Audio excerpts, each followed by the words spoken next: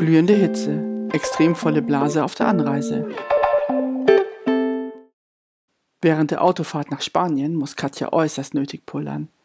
So sehr, dass sie es kaum noch aushält. Als sich schließlich einige Tropfen in ihr Höschen drängen, bittet sie ihren Freund anzuhalten.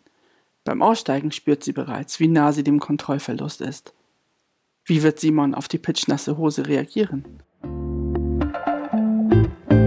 Diese und noch viele lustvolle Geschichten mehr findest du frei zum Lesen auf unserer Homepage edition-aurum.de.